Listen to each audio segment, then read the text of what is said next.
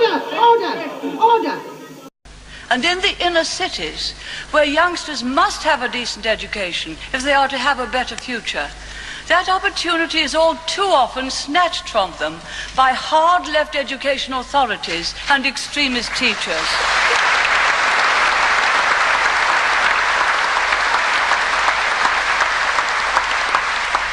And children who need to be able to count and multiply are learning anti-racist mathematics, whatever that may be. Children who need to be able to express themselves in clear English are being taught political slogans. Children who need to be taught to respect traditional moral values are being taught that they have an inalienable right to be gay.